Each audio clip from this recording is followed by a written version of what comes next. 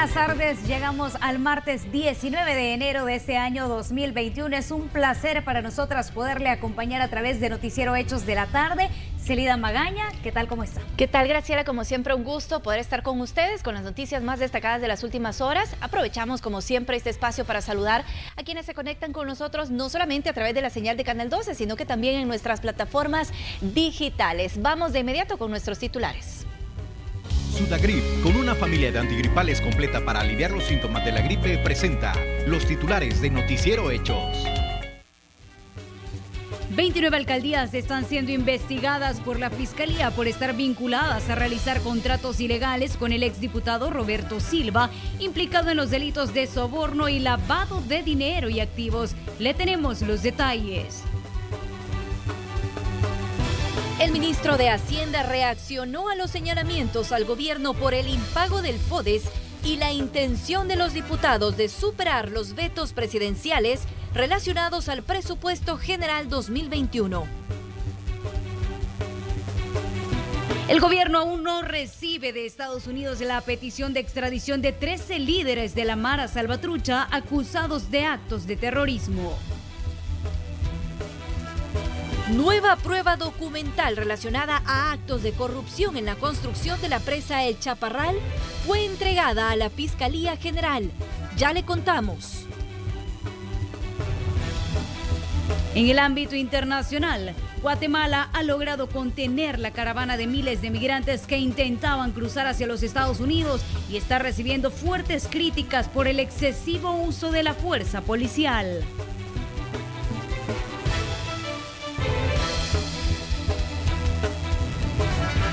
Bien, vamos a iniciar con los hechos. El fiscal general de la República habló acerca de nuevas investigaciones que se están realizando en contra de algunas municipalidades. La periodista Iliana Leiva nos explica en el siguiente enlace de qué se trata. Iliana, adelante, muy buenas tardes. Buenas tardes. Efectivamente, este día la Fiscalía General de la República ha dicho que continúan las investigaciones por el caso del ex diputado Silva Pereira, quien había entregado dádivas y sobornado a algunos alcaldes para la adjudicación de algunos proyectos municipales. Ante esto, el fiscal general Raúl Melara ha dicho que al menos 29 comunas más están siendo investigadas. Escuchemos sus declaraciones.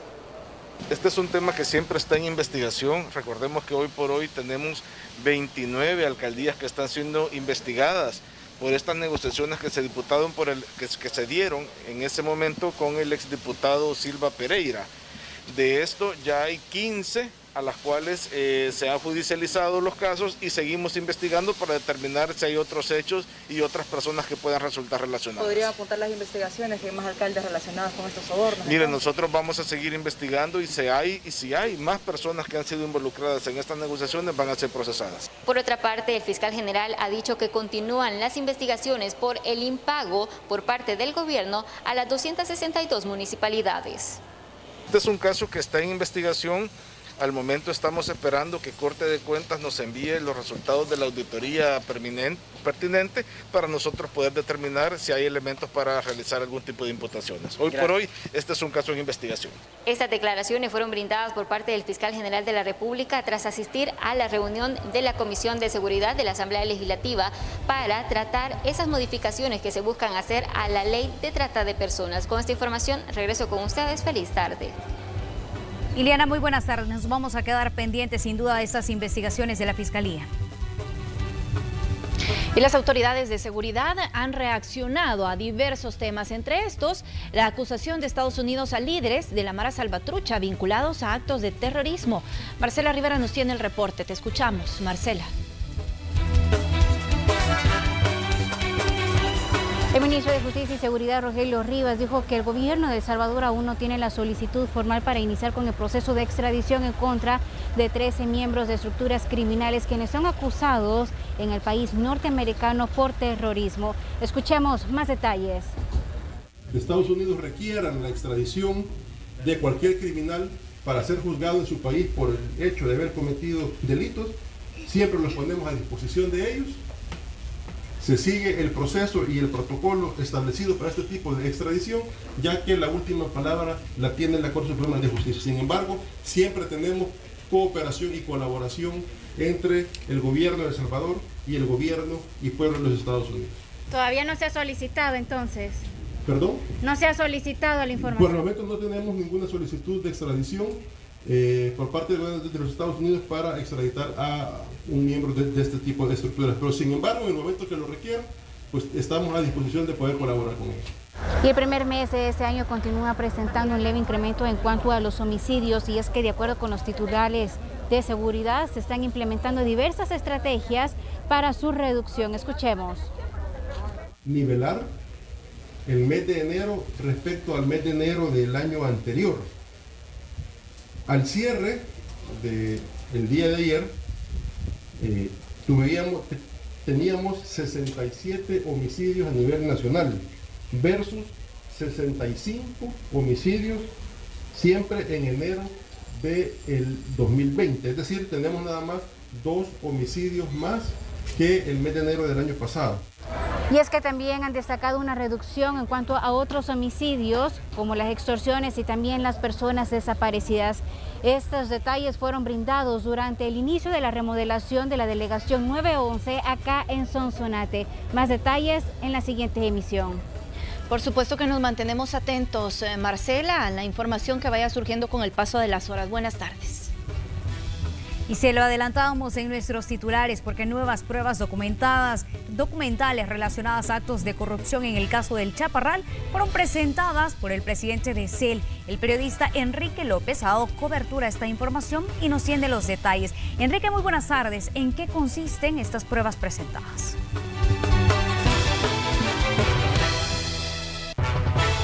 Así es, compañeras, amigos televidentes, eh, buenas tardes. Este día el presidente de CEL presentó ante la Fiscalía General de la República 32 cajas que contienen 1.600 folios de prueba documental sobre los actos de corrupción que se cometieron en la construcción del antiguo proyecto hidroeléctrico El Chaparral. Toda esta documentación es referente a los expedientes administrativos, ofertas, procesos de licitación, presupuestos, adjudicaciones y contrataciones que al parecer se de forma sospechosa, y es decir, toda la documentación relacionada al menos 19 contratos suscritos entre la autónoma y empresas tanto nacionales como extranjeras. Todos estos hechos registrados entre el año 2015 y el 2018. Escuchemos a continuación las declaraciones del titular de la autónoma.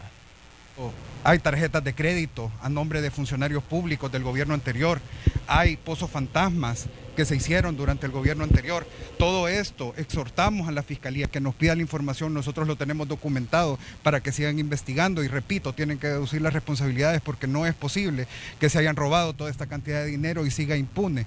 Nosotros estamos trabajando para recuperarlo absolutamente todo, no solo con eh, deducciones eh, eh, penales, sino que también civiles. No vale la pena que eh, condenen a alguien y se vayan a disfrutar el dinero que se robaron después de que salieron de la cárcel, porque supuestamente ya lo pagaron. Además de los hechos delictivos comunes, hay delitos de corrupción, que es obvio por la modalidad que se tenía con la fase primera.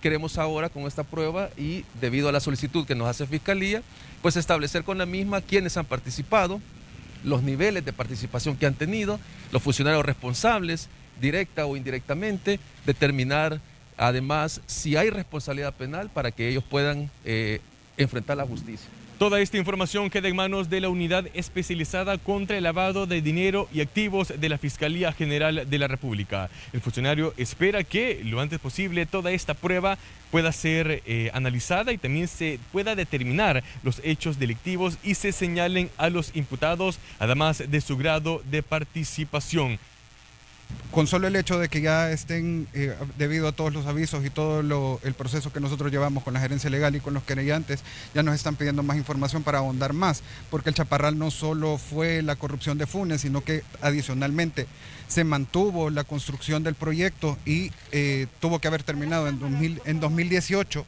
y esto no terminó. Entonces ahorita estamos presentando más documentación para que la Fiscalía siga ahondando para deducir responsabilidades no solo en la época de Funes, sino que también en la época de Sánchez Serén.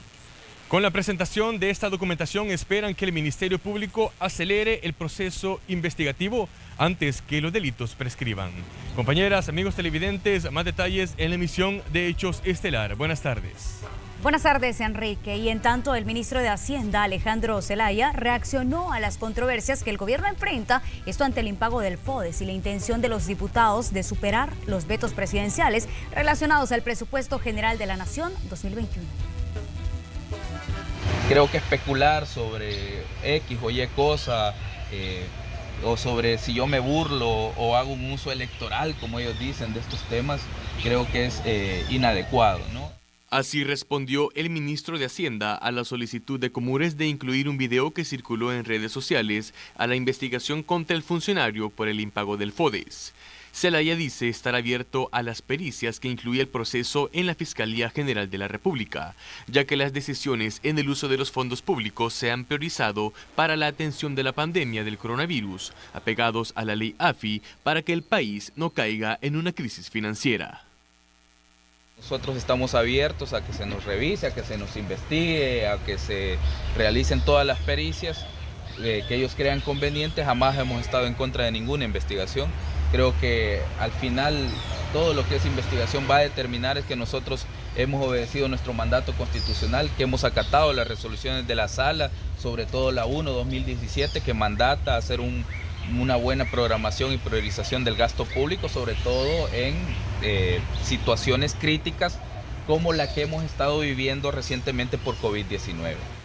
Otra de las controversias que enfrenta el titular de Hacienda es la intención de los diputados de superar los vetos presidenciales a los decretos 800 y 803, uno por 50 millones de dólares provenientes del Banco Centroamericano de Integración Económica y otro por 250 millones de dólares. Celaya sostiene que los parlamentarios pretenden destinar los fondos a las alcaldías a un mes de las elecciones, lo que levanta sospechas sobre su uso. Agrega que esta acción es inconstitucional por vicio de forma y no hay una razón técnica para la asignación de los fondos y lo previsible es que el presidente Bukele los vuelva a vetar. El Ejecutivo no está utilizando fondos adicionales o fondos especiales para contener la pandemia, estamos utilizando el presupuesto ordinario. Entonces, ¿por qué los alcaldes no pueden utilizar el presupuesto ordinario, sino que hay que darle 175 millones más y justamente cuando falta un mes para las elecciones? Eso me parece muy sospechoso, ¿no? Así que lo que va a pasar es que como el vicio de forma ni la razón técnica para la asignación de fondos existe, lo que va a pasar es que el presidente lo va a volver a vetar, pues es lo previsible. La Comisión de Hacienda de la Asamblea Legislativa acordó superar los vetos del presidente Bukele y serán sometidos a votación en la plenaria del próximo viernes. Con imágenes e informe de Enrique López, Noticiero Hechos. Y las funcionarias de gobierno que fueron llamadas por apremio a la Asamblea Legislativa llegaron a la comisión especial que investiga el uso de fondos públicos durante la pandemia.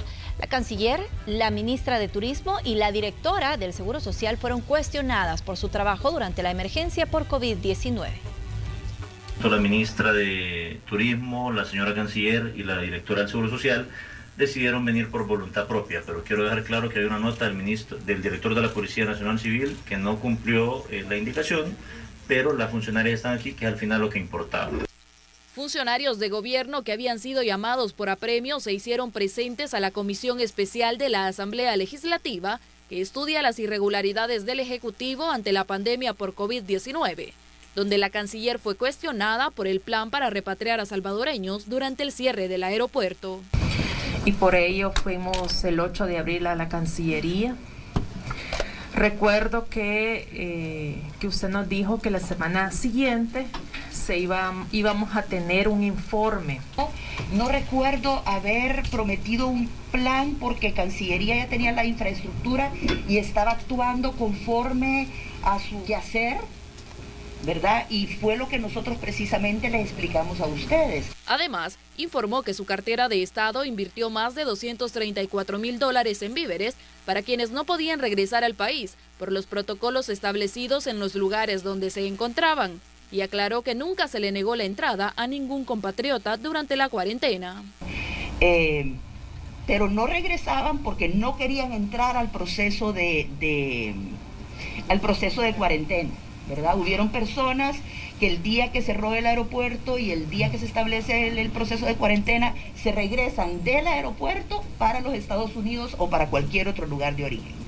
con tal de no pasar por ahí. Entonces no se registran, después se empiezan a registrar. El diputado Julio Fabián aseguró que eso sucedió porque los centros de contención no tenían los recursos necesarios, aunque la canciller se desligó de la situación que se vivió en esos lugares. Era el centro que se había habilitado en Jiquilisco, donde iban a haber más de 300, 400 personas. No había ni baños, no había nada, no había ni dónde sentarse, absolutamente nada. O sea, nuestra labor de repatriación llegaba hasta el momento en que ese avión aterrizaba o ese barco llegaba. Otra funcionaria que rindió cuentas ante esta comisión fue la ministra de Turismo, quien explicó que las contrataciones de hoteles como centros de contención se hicieron cumpliendo los protocolos establecidos en conjunto con el Ministerio de Salud. ¿Y qué criterios tomaron para seleccionar al señor Ángel Montoya, primo del ministro de Salud? Como lo dije en la, en la exposición, cada uno de los centros de establecimientos que se contrataron primero se hacía toda una exploración de mercado, ustedes lo vieron ahí, ¿verdad? Entonces cada uno de ellos tenía que cumplir condiciones. Si dentro de eso está el establecimiento del señor Montoya que usted está refiriéndose, seguramente todo el equipo, había un equipo interdisciplinario que hacía la validación, siempre esa validación la hacía el Ministerio de Salud. Sobre el préstamo de 25 millones de dólares del Seguro Social al Ministerio de Salud, la directora de la Autónoma aseguró que se ha realizado bajo lo establecido en la Ley Integral del Sistema de Salud.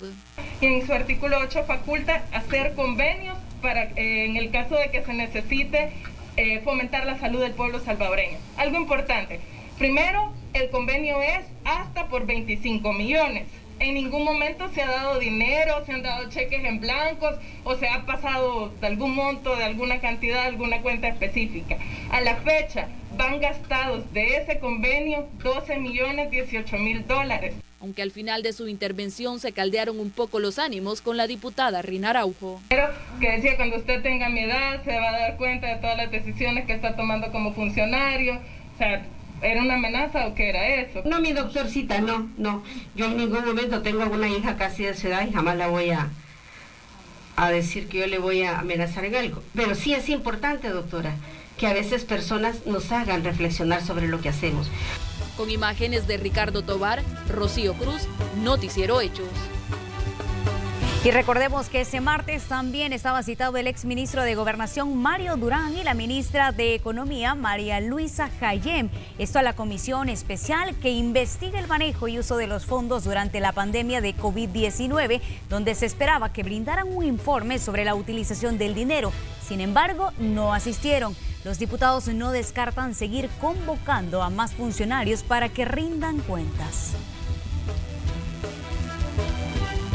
La ministra de Economía no pudo asistir porque envió una correspondencia que hay sospechas de que pueda estar en algún nivel de riesgo por COVID, ya que tuvo contacto con algunas personas que lo tienen. Eh, el candidato Mario Durán no asistió. Eh, no mandó la razón por la cual no asistió. Vamos a llamar otros dos funcionarios que se van a dar a conocer en la próxima reunión de la comisión especial, porque hay funcionarios que han manejado igualmente millones de dólares que deben de comparecer a rendir cuentas. Yo creo que en el caso del señor Durán y de la señora ministra de Economía, es un tema de un deber moral, aparte de ser llamados legalmente, es un deber moral que ellos tienen de rendirles cuentas a la población. En otros temas, dos distinciones fueron entregadas al diplomático estadounidense Ronald Johnson por sus eminentes servicios prestados al gobierno del presidente Nayib Bukele. Licenciamos en la imposición de la Gran Orden Francisco Morazán por parte del señor presidente de la República y jefe supremo de la Orden, Nayib Bukele, al señor embajador de los Estados Unidos de América, Ronald Johnson este es el momento en el que es condecorado el embajador de los Estados Unidos en El Salvador, Ronald Johnson, por su labor diplomática, quien dejará su cargo en las próximas horas que el nuevo presidente de los Estados Unidos tomará posesión. Nayib Bukele destacó los lazos de comunicación y trabajo bilateral entre ambos países. Un gran servidor público está, ah, al, está al servicio aún es el embajador, está al servicio del gobierno de los Estados Unidos, pero pareciera como que fuera nuestro embajador también, porque está al servicio de nuestro país. Para el embajador Johnson fue un honor haber servido al pueblo salvadoreño. Al recibir las dos distinciones dijo que luego de casi 50 años de servicio en el gobierno de los Estados Unidos, este periodo ha sido el mayor honor de su vida profesional. Puede decir que este ha sido el mejor honor de mi vida profesional. Me duele decir esto, pero mi tiempo como embajador de los Estados Unidos en El Salvador está llegando a su fin. Este miércoles finaliza su periodo como embajador. Será después de la toma de posesión del presidente electo Joe Biden, que asignará a un nuevo embajador que lo represente en El Salvador. Una de la tarde con 20 minutos, es momento de hacer una pausa. Ya volvemos.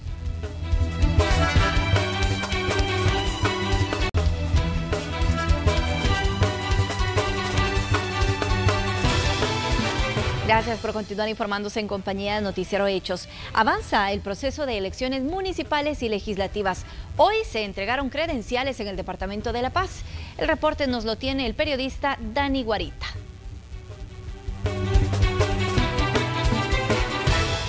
Buenas tardes compañeros y amigos televidentes. Esta mañana se realizó la entrega de las credenciales a las juntas electorales municipales en el Centro de Convivencia Mauricio El Tuco Alfaro de Zacatecoluca. Escuchemos algunas declaraciones del presidente de la JED. Bueno, eh, este día estamos haciendo entrega de credenciales a los miembros de la Junta Electoral Municipal. Eh, también les estamos entregando sus respectivos sellos, almadillas, instructivos, códigos eh, este día los hemos juramentado y a partir de, este día pues ellos toman posesión, van a hacer su acta de instalación con fecha 12 de, enero porque esa es la fecha que traen las, las credenciales. Así que a partir de este día quedan debidamente instalados, ya funcionando, pueden reclamar sus locales ya en sus diferentes municipios y este día pues ya toman posesión. Ahorita eh, tenemos para juramentar, eh, bueno, juramentados todos, todos los 22 municipios, son 220 miembros, 110 propietarios y 110 suplentes. Y este, pero credenciales solo han venido 107, así que solo les vamos a entregar a esas 107 personas. Bueno compañeros, esta es parte de la información que les tengo a esa hora de la tarde. Regreso la señal al set principal. Gracias, Dani, por el informe. Buenas tardes para ti. Y el partido político Nuestro Tiempo presentó la plataforma legislativa 2021-2024. Activistas políticos opuestos eh, de la función pública y eso al final desmerece los servicios que los salvadoreños obtenemos del servicio público. Para tener servicio público decente, especialmente en educación, en salud, que son relevantes para el desarrollo humano, debemos tener a las personas correctas en la función pública y para ello es importante aprobar esta ley de la función pública. Y organizaciones de la sociedad civil pidieron una reivindicación de las víctimas del conflicto armado. También siguieron insistiendo en la apertura de los archivos militares donde se detallaron operaciones de la Fuerza Armada durante el conflicto armado.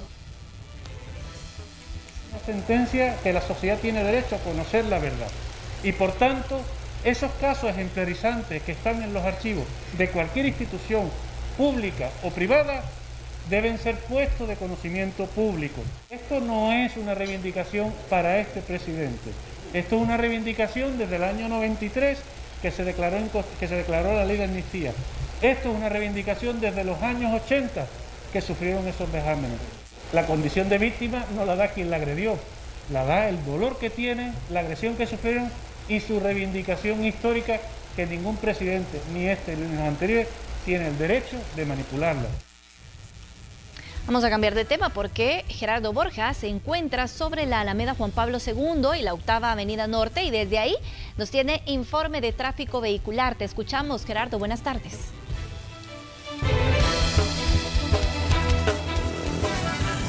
Gracias a esta hora un reporte de tráfico desde la Alameda Juan Pablo II y la Octava Avenida Norte.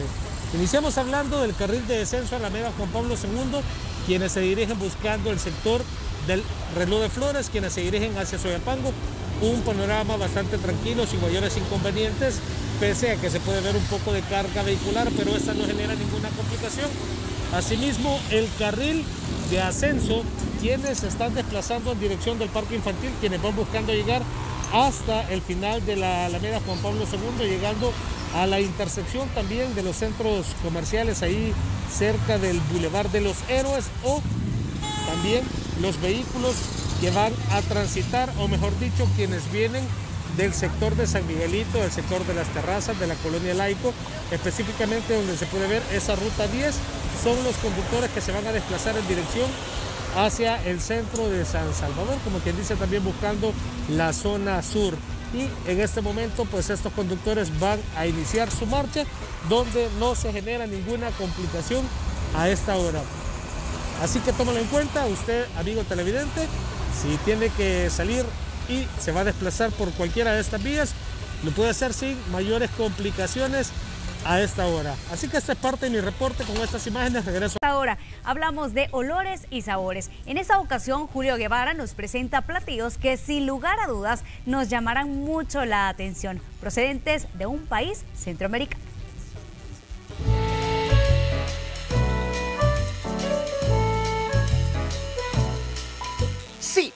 Es un hombre haciendo tortillas muy a su estilo. Primer paso, para preparar un platillo que en horas de la tarde es solicitado por decenas de familias en Santa Tecla. Mire, se llama quesillo y así se hace.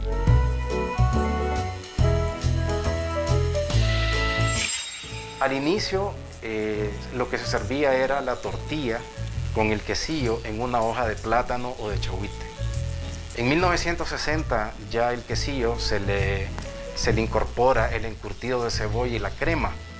Creo que muchos están preguntando en este momento, ¿y eso?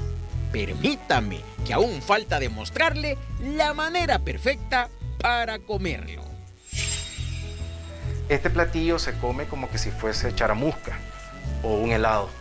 Eh, ¿Por qué? Porque ahí es donde hace la combinación, uno puede degustar la combinación de la crema, el queso, el encurtido y, la verdad es que es una explosión de sabores muy rico.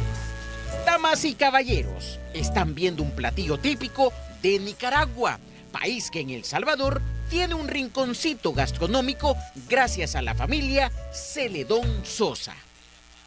¡Qué bonito! Precisamente hablamos de una pareja de esposos de origen nicaragüense que decidió emprender en el arte culinario.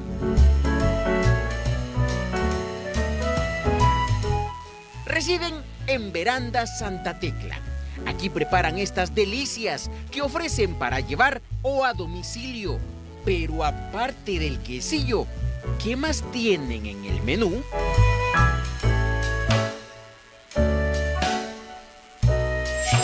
Churrasco nicaragüense de lomo de aguja acompañado con chorizo, tajadas de plátano, gallo pinto y chimichurri con su ensalada de tomatito. Y también ofrecemos lo que es el indio viejo, ¿verdad? Acompañado con maduro frito, ensalada y arroz. Tenemos la sopa de res, ¿verdad? Que lleva el sabor y el sazón de los nicaragüenses. Escuchó que dijo indio viejo, ¿verdad? Le cuento. Se trata de carne desmenuzada, mezclada con masa, parece puré y se acompaña con arroz, plátanos fritos y repollo. Queremos que nuestras tradiciones, que nuestros platillos, que nuestra gastronomía esté presente acá. También encontramos yuca sancochada, pero en este caso la llaman vigorón. Vea cómo se prepara.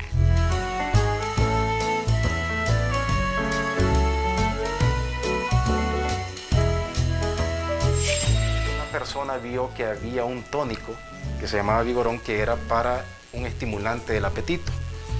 Entonces utilizó la palabra vigorón, eh, que es un plato muy característico que se compone de yuca, de chicharrón y ensalada. Una familia nicaragüense radicada en El Salvador que está ofreciendo su gastronomía desde esta cocina y vea la variedad. Aquí hay para todos los gustos.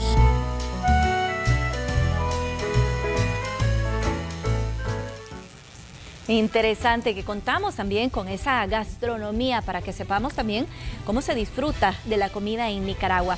Ahora vamos hasta el departamento de Morazán para contarle que jóvenes están emprendiendo en diferentes áreas, incluyendo la formación profesional. Veamos el reporte de nuestra aliada.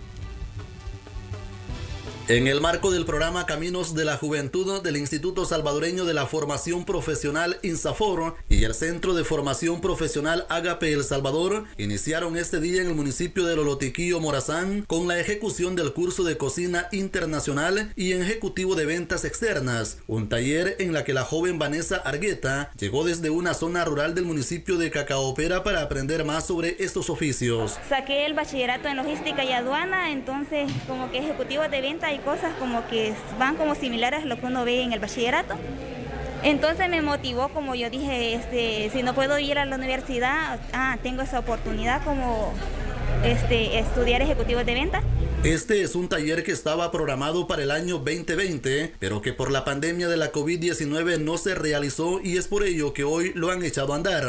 Directamente vamos a estar eh, ejecutando los cursos de cocina internacional y lo que es ejecutivo de ventas externas que ya están lo que es la área, que por cuestiones de la pandemia el año pasado no pudimos ejecutar, pero que ahora ya estamos con todo lo que es el protocolo de bioseguridad para poder atender a los chicos. ¿verdad? El límite de participantes es de 20 jóvenes, pero de acuerdo al coordinador aún hay cupo disponible. Los requisitos es de que la persona tenga de 16 años a 29 años y que tenga como una escolaridad mínima de noveno grado, ¿verdad?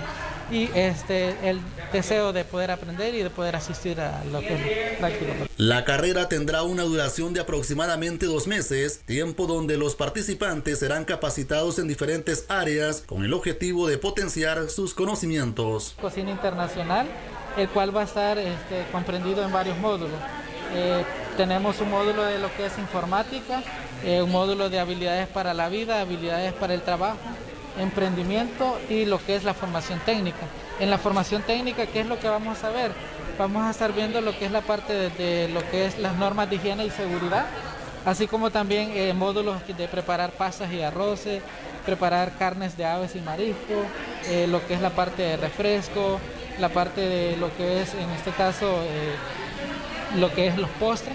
Todo esto lo van a estar viendo acá. Para ese entonces, Vanessa espera estar ilustrada de conocimientos que vaya adquiriendo en cada jornada, pues sus sueños es poder entrar al campo laboral. No a un lugar como a pedir trabajo, uno ya como que lleva conocimiento, porque aquí a uno le enseñan cómo hacer un currículum, cosas que uno desconoce a veces, que a veces medios se le enseñan a uno, entonces como que uno este, poner en práctica estos nuevos conocimientos este, ya cuando uno termine. Son jóvenes de diferentes municipios del departamento que están participando, aprovechando así una oportunidad más de formarse en algo productivo para sus vidas. Con imágenes de Johnny García, edición de Dore Argueta, Benet Castillo, Noticiero Telemás. Gracias, Benet. Con esta información nos vamos a una pausa. Regresamos en breve.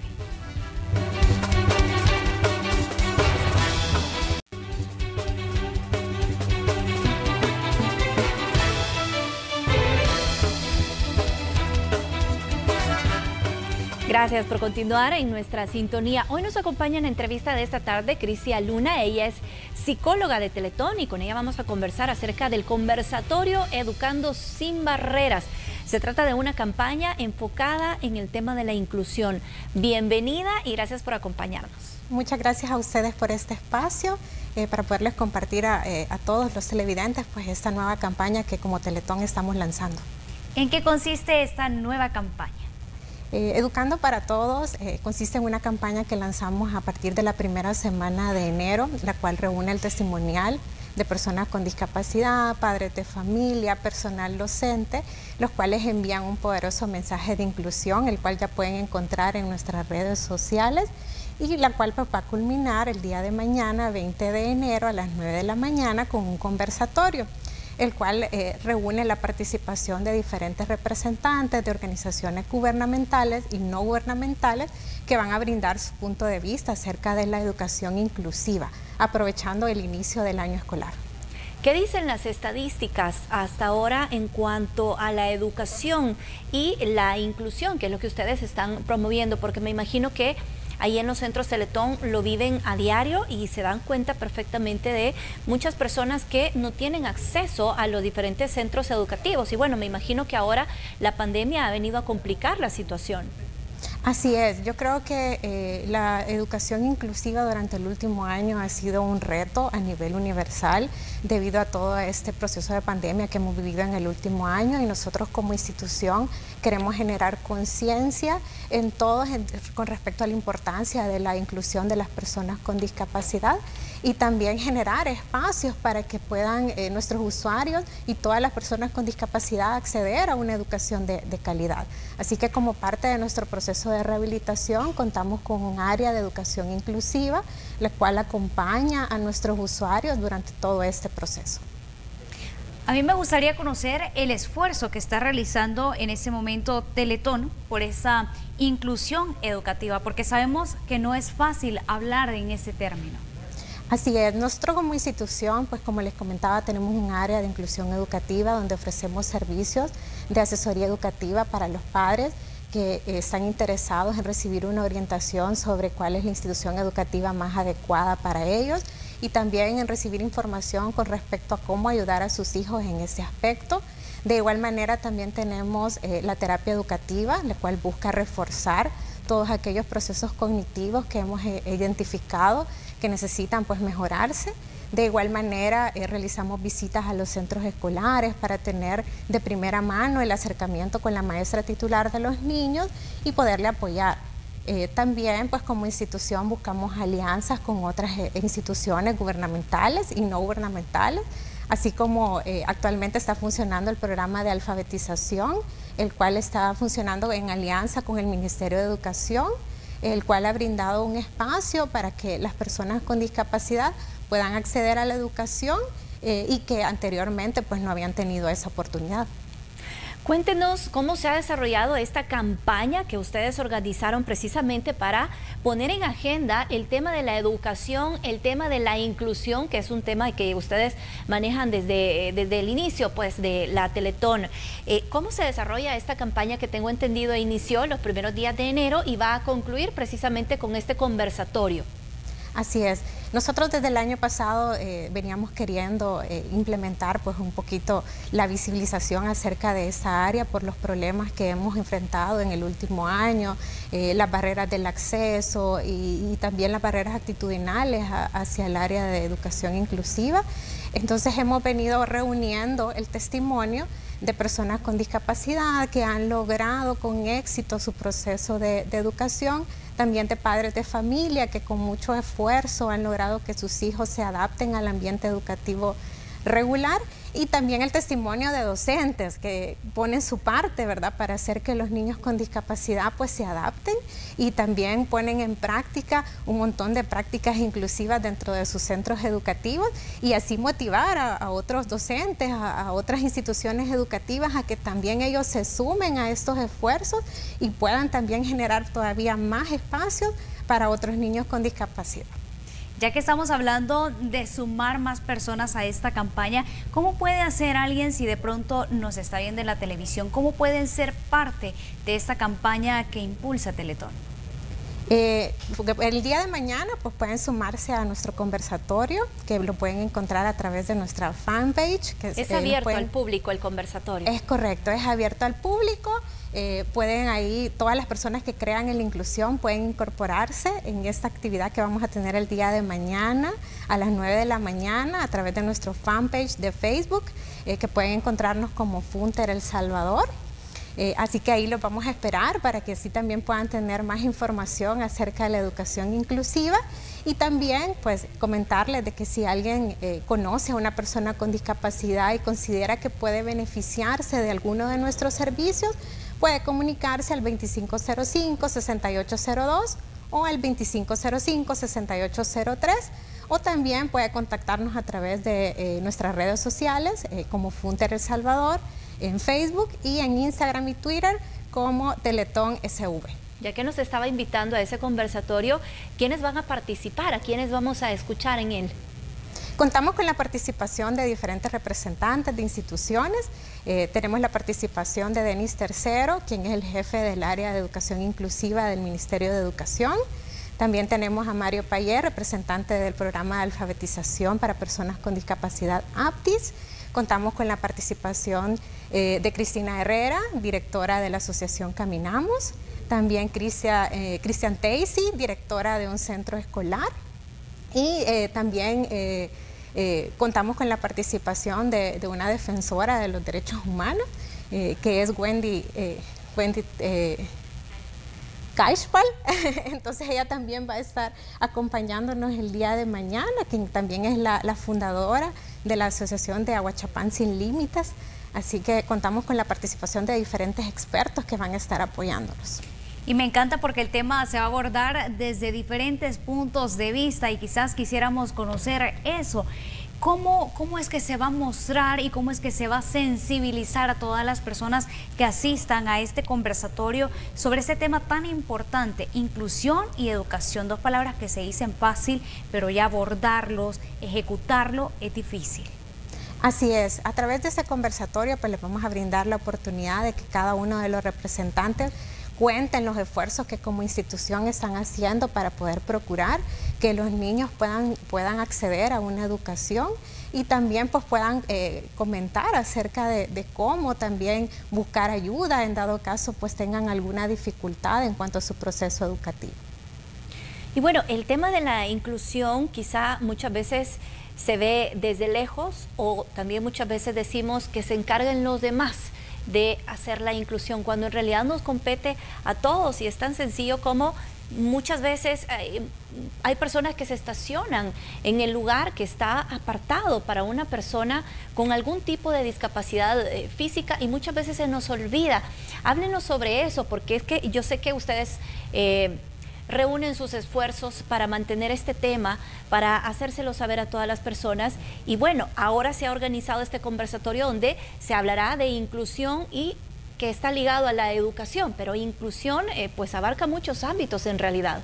Así es, yo creo que una de las principales eh, situaciones que se dan son las barreras actitudinales y es por la falta de una creación de una cultura inclusiva. Y eso no es solo a nivel nacional, sino que es internacional. Eh, de repente tenemos actitudes como esas que tú mencionas, que nos parqueamos en, un estacionamiento en donde está dedicado para una persona con discapacidad. Eh, también sucede mucho en el ambiente educativo, que se les eh, niega el acceso a los niños en los trabajos, de repente no se les brinda oportunidades a personas con discapacidad. Entonces es un tema realmente bastante amplio en donde tenemos que cambiar nuestra forma de pensar y brindar nuevas oportunidades y darnos cuenta que la persona con discapacidad tiene mucho que aportar y que puede ser igual de funcional que cualquier otra persona. Crisia, queremos que reitere el llamado a todas aquellas personas que desean integrarse a este conversatorio. ¿Cuáles son las plataformas en las que va a estar disponible y qué deben de hacer para poder inscribirse? Pueden acceder a nuestro conversatorio el día de mañana, 20 de enero a las 9 de la mañana a través de Facebook Live, entrando a nuestra fanpage como Funter El Salvador. Así que no necesitan inscribirse, van a poder acceder a ella entrando a nuestra plataforma y ahí pues van a poder eh, participar también con otras personas que van a estar ahí eh, también interactuando con ellos. Eh, igual si tienen alguna consulta, también puedan eh, dejarnos su comentario a través eh, de nuestra plataforma y ahí pues nosotros con gusto vamos a poder resolver todas esas dudas o esas incertidumbres que puedan tener. Y ya mencionaba usted que en realidad estamos invitados todos, pero yo sé que particularmente para los educadores este será un tema demasiado enriquecedor y también pues el llamado ahí a las autoridades, porque este es un tema que nos compete a todos.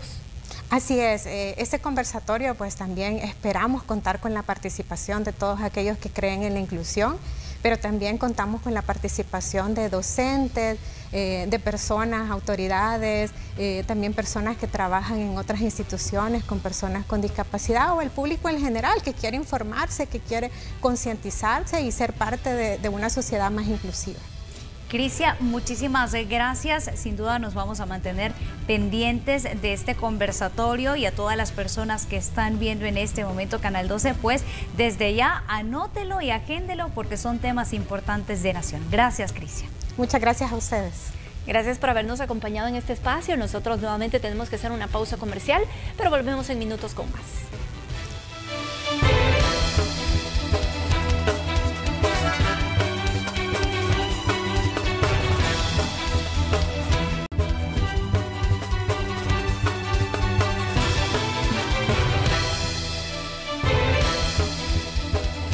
Es momento de conocer las denuncias que usted nos hace llegar hasta nuestra sala de redacción. Se las presentamos en la sección Hechos en tu comunidad.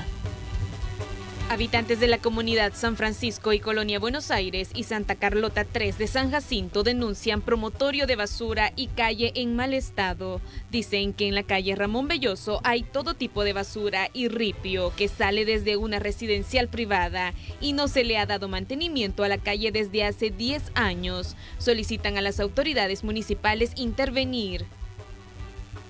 Transeúntes denuncian acumulación de desechos sólidos y falta de tapaderas sobre la 27 Avenida Sur, Sexta y Décima Calle Poniente en San Salvador. Aseguran la acumulación de basura es frecuente y la falta de tapadera puede causar un accidente. Piden a la alcaldía solucionar ambos problemas. Residentes del pasaje 16, Block E, Polígono 17 de la Residencial Santísima Trinidad en Ayutuxtepeque denuncian fuga de agua potable. Dicen que el colapso fue en una tubería central, ya que el agua brota de los contadores desde el mes de noviembre. Hasta el momento han realizado 10 solicitudes para la reparación y no les han solucionado. Piden a la autónoma la pronta reparación. Denuncie los problemas de la comunidad marcando al 2560-1240. Imágenes de Gerardo Borja, Noticiero Hechos, Melissa Galicia.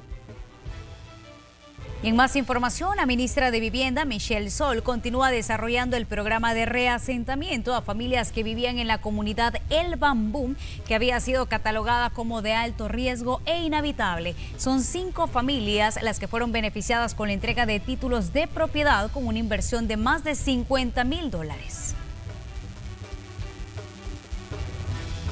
Pues los estuvo bien, pues después de estar en una parte peligrosa, y primeramente pues dándole gracias a Dios pues que Dios le tocó el corazón a ustedes pues y si no es como dice si no es Dios no, no somos nada. Agradecida primeramente con Dios y después con todas las personas que hicieron posible a, dar mi, mi casa. Eh, estoy muy agradecida y que Dios me lo bendiga y gracias al señor presidente y a toda su comitiva. Que... De los espectáculos y también así nos despedimos. Gracias por habernos acompañado. Será hasta mañana. Buenas tardes.